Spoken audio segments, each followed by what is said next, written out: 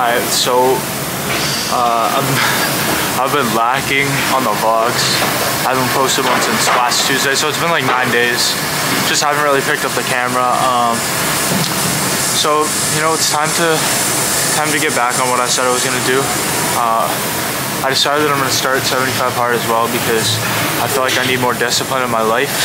Just more structure, more discipline, and then the goal is to, you know, apply those habits that I built from 75 hard and just make it a daily routine, daily habit to, to do all those things. So I made my own modified version. Um, when I'm done with the lift, I'll kind of go over everything. But right now we're doing back and bis, and then we're gonna get into an eight mile run. Uh, my legs are still clapped from Sunday's long run, uh, which was 14 miles. I don't know. I think I need to prioritize my recovery a little bit more because I'm not gonna lie, I've been lacking on the stretching and I can really feel it. Like I'm just my legs are my legs are shot. Like they're just shot. Like once mile eight hit of that run, it was just a straight grind the whole time and my pace slowed down significantly. I was doing like 730s for the first half of the run and then I would say probably like 820s the last half. So I think that's something to just keep note of and look out for. Obviously the overall pace was fine, but I don't like how I'm getting worse throughout the run. So that's something I'm just gonna keep in mind for future reference. And yeah, let's let's start this back at it.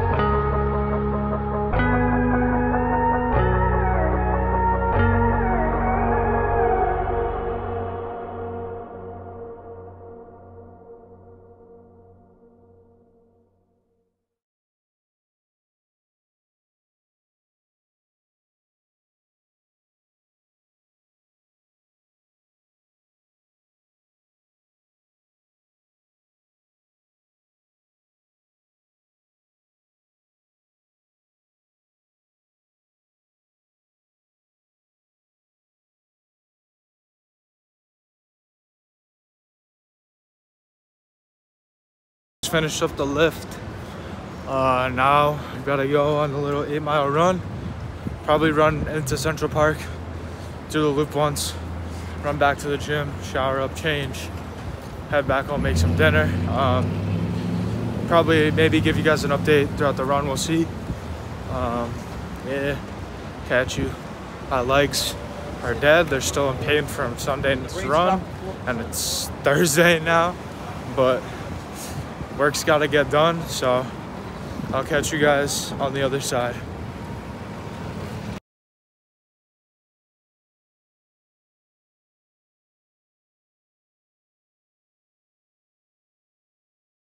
About two and a half miles in right now, averaging like 8:30 pace. Very slow today. My legs are fucking clapped, but fighting demons right now. We're gonna push through. All right, so forgot to record, but ended up finishing the run. I ended up only doing seven miles because on my plan, it was uh, eight mile run today and then a seven mile run tomorrow. So I just decided to switch it because my legs were crushed. Um, that was probably the hardest run of the entire prep, and it was only a seven mile easy run. So my legs are still feeling it from yesterday's speed workout as well as the 14 miles on Sunday. Um, yeah, I'm really in one uh, for the rest of the week because I got 8 miles tomorrow. Then Saturday I have 16 miles. And then uh, 4 miles on Sunday. So kind of brutal. So uh, I'll put the stats up for this run here. Um, it was 7 miles done at an 834 pace. So very slow. Legs were feeling it today. But we ended up pushing through. So we, we'll take that and I also decided to start 75 hard. So today was actually my first day. Um, the reason why I decided to do this was because I feel like I need more uh, structure and discipline in my life, um, especially in my training. Um, I'm gonna be fully transparent with you guys. I'm at the stage of my trading where I'm pretty much break even at this point.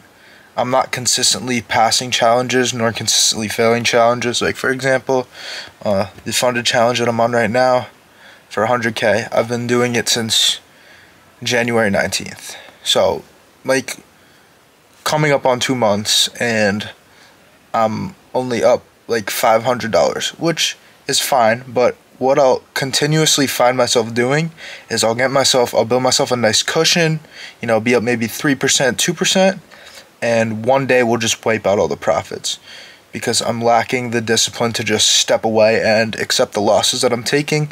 And how you do one thing is how you do everything. So I think applying discipline in all aspects of my life is going to rub off into my trading and therefore will take me to the next level because I have my model, I have my strategy. At this point, the only thing that's holding me back from becoming really a full time trader is just my mental. So getting that down is absolutely essential for me to, you know, reach my true potential.